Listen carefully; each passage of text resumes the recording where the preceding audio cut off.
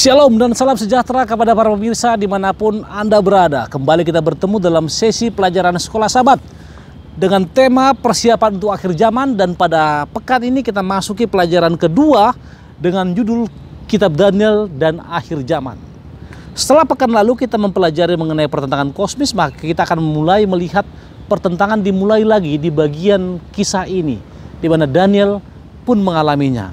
Dari lokasi komplek Stadion Gelora Bung Karno Senayan, saya akan bacakan ayat hafalannya tertulis dalam Daniel 22 ayat 47, dikatakan demikian.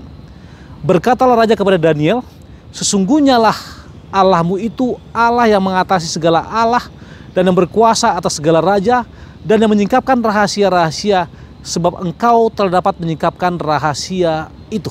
Saudara-saudaraku, Tuhan memiliki rencana besar bagi umatnya. Dan Tuhan memiliki sesuatu yang indah bagi setiap orang. Sehingga dikatakan, kamu akan menjadi bagiku kerajaan iman dan bangsa yang kudus. Apa Tuhan katakan? Kamu akan menjadi bagiku kerajaan imam dan bangsa yang kudus. Bangsa yang suci, kerajaan imam yang seharusnya menjadi saksinya ke seluruh dunia bahwa Allah itu Esa dan Allah adalah yang menciptakan langit, bumi dan segala isinya. Dan cukup menarik memang kalimat ini. Namun itu sudah disampaikannya kepada orang-orang Yahudi, orang-orang Yudea, bahkan pada orang-orang pada zamannya. Namun pertanyaannya sekarang adalah, bagaimana pelajaran minggu ini mengarahkan kita kepada Daniel, di mana Daniel merupakan bagian dari pribadi-pribadi yang turut ambil bagian dalam pertentangan kosmis tersebut ketika dia diuji untuk melihat apakah Allahnya itu benar atau tidak. Dan itu dimulai pada waktu Allah bahkan kerajaan meminta sesuatu bagian yang merupakan kuasa Allah melalui Daniel. Hari Minggu dibuka dalam setir dalam perkara kecil. Dikatakan dalam paragraf pertama, Lukas 16 ayat yang ke-10 dikatakan, Barang siapa setia dalam perkara kecil, ia setia juga dalam perkara-perkara besar. Dan barang siapa tidak benar dalam perkara kecil, ia tidak benar juga dalam perkata perkara-perkara besar. Perhatikanlah kata yang Yesus gunakan dalam buku Injil Lukas. Dikatakan kita tidak menjadi kompromi untuk hal-hal kecil. Tidak menjadi kompromi untuk hal-hal yang sangat kecil.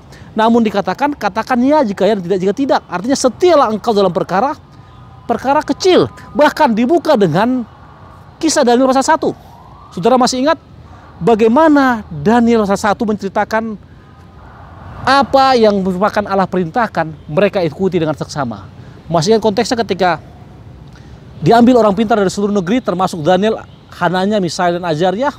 Lalu mereka dikasih makanan raja, namun Daniel katakan bersama teman-temannya, berikan kami makanan dari buah-buahan, sayur-sayuran dan tumbuh-tumbuhan. Sehingga ketakutanlah kepala juru makanan raja tersebut dan mengatakan, saya akan dihukum raja. Daniel katakan, ujilah kami setelah itu. Ketika diuji apa terjadi? Didapati mereka sepuluh kali lebih cerdas, lebih bijaksana, daripada orang-orang lainnya. Coba kita buka baca paragraf ke empat bagian minggu dikatakan Meskipun ayat ini tidak menghubungkan secara langsung apa yang mereka makan dengan keadaan mereka, sepuluh kali lebih baik dalam kebiasaan dan pengertian daripada semua yang lain, sangat jelas mempunyai hubungan dengan apa? Penurutan akan firman Tuhan. Kenapa? Karena mereka menuruti firman Tuhan. Sehingga ketika itu didapati, apa yang dibuat? Raja pun mengakui semua mengakui bahwa mereka lebih pintar, lebih cerdas 10 kali. Dan sesuatu yang istimewa dalam kisah atau perikop kehidupan Daniel ini. Ketika pada pelajaran selanjutnya, dalam Daniel pasal 2, didapati kerendahan hati Daniel. Apa yang kita ketahui dalam pasal 2? Dikatakan bahwa Daniel 2 telah menolong orang yang datang itu banyak datang untuk percaya pada Allah dan Alkitab. Hal itu memberikan bukti yang penuh kuasa dan masuk akal bukan hanya keberadaan Allah, tetapi nubuatannya juga. Ingat konsep Daniel pasal 2 di mana Allah menceritakan kepada Daniel melalui mimpinya tentang kerajaan dunia ini. Dan Daniel mengetahui apa mimpi tersebut. Bahkan nyawa orang, nyawa ahli ahli nujum, orang-orang pintar terancam bila mana Daniel tidak menceritakan mimpinya. Namun dengan kerendahan hati Daniel menerangkan kepada raja semua mimpinya. Karena apa saudara? Kuasa Allah penurutan akan Allah. Paragraf ketiga bagian A, hari Senin dikatakan, kemudian Daniel mengingatkan raja bahwa tidak satupun dari orang-orang pintar penyihir di Babel terbukti mampu menceritakan mimpinya kepada raja dengan perbedaan. Allah di surga dapat menyatakan hal misterius oleh karena hanya dialah Allah yang benar.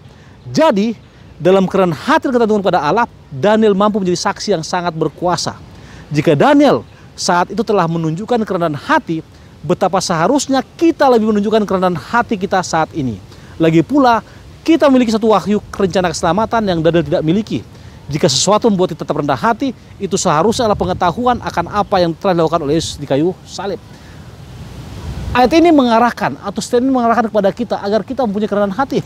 Bahkan Daniel sendiri pun yang belum mendapatkan hal tersebut bisa menunjukkan kerendahan hatinya kepada siapa? Kepada umat di sana dan Allah melihatnya. Sehingga hari Selasa kehidupannya berlanjut ketika patung emas didirikan hari Minggu Daniel satu, hari Senin Daniel dua, hari Selasa Daniel pasal ketiga.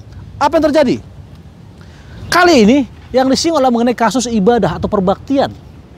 Dan ini sangat sering menghantui pikiran orang-orang benar. Ketika ibadah atau perbaktian disinggung, bahkan dikatakan, di bukan Neser pertamanya mengejek, bahkan mencemooh dan dengan mengatakan, dewa manakah yang bisa melepaskan kamu dari dalam tanganku? Dan dia pun ingin tahu siapa Allahnya, Sadrak, Mesak, dan Abidnego.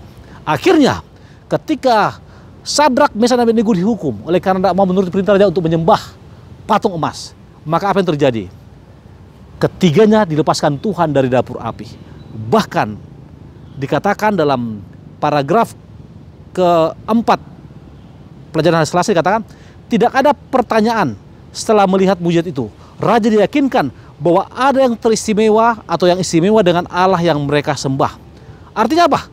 Walaupun mereka dibakar hidup-hidup, namun Allah melepaskan mereka. Itu merupakan kesaksian yang luar biasa bagi raja, bagi orang-orang pada saat itu. Kenapa? Karena Wahyu pasal 13 juga telah memberikan satu gambaran sehubungan dengan Daniel pasal 3 yaitu mengenai apa? patung emas ini. Dan itulah masa-masa suram yang akan dihadapi pada akhir zaman nantinya. Di mana kita pun dalam konteks ibadah akan mengalami hal serupa. Hanya pertanyaannya apa, apakah iman saya akan mengatakan saya benang Tuhan? Apakah iman saya akan mengatakan saya akan tetap berdiri, berdiri dalam posisi saya? Apakah saya akan mengatakan apa pun taruhannya saya akan terus mengikut engkau? Sehingga Daniel 3 diakhiri dengan pengakuan Nebukadnezar yang mengakui eksistensi dan kuasa Allah yang benar bahkan dia mengakui pengetahuan tentang dan kuasa tidaklah sama dengan memiliki pengamalan lahir kembali yang dikatakan adalah penting untuk keselamatannya. Bahkan hari Rabu dikatakan pertobatan bangsa bukan Yahudi.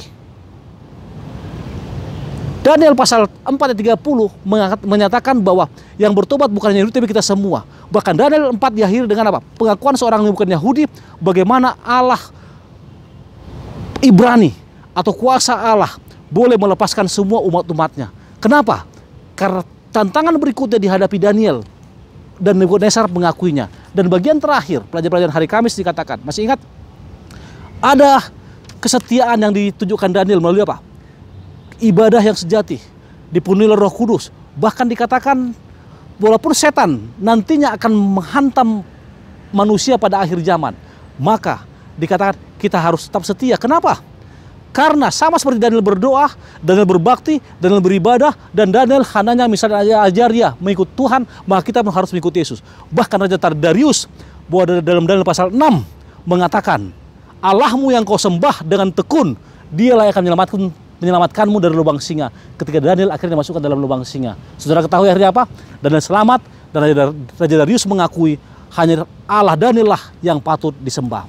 Kesimpulan baik kita, hendaknya kita akan terus menjadi setia menuruti kehendak Allah, menuruti perintah Yesus, bahkan menuruti hukumnya dari sekarang hingga Maranatha dan jadilah Daniel Daniel modern Tuhan berkati kita. Kita berdoa. Bapa di sorga, terima kasih Tuhan karena berkatmu, terima kasih karena rahmatmu, dan terima kasih oleh karena perlindungan memberkati hambamu, sahabat kami di tempat ini, dan juga para pemirsa di mana mereka berada. Terpuji nama Tuhan, dalam Yesus berdoa. Amin.